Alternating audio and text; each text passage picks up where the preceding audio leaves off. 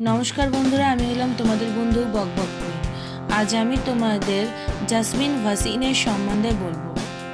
যিনি হলেন একজন হিন্দি ধারাবাহিকের অভিনেত্রী এবং মডেল এছাড়াও তিনি সাউথের চলচ্চিত্রতেও অভিনয় করেছেন।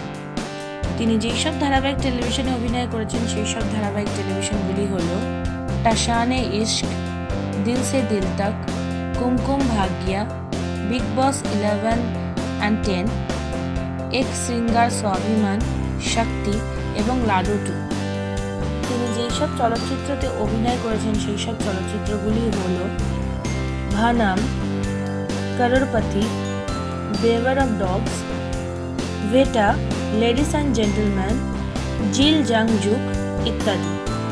তিনি যেসব পুরস্কারগুলি অর্জন করেছেন সেই সব পুরস্কারগুলি হল দু হাজার পনেরো সালে জি রিস্তে অ্যাওয়ার্ডস পান দু হাজার ষোলো সালে জি গোল্ড অ্যাওয়ার্ডস পান দু হাজার সতেরো সালে কালার্স গোল্ডেন পেটাল অ্যাওয়ার্ডস পান ইত্যাদি।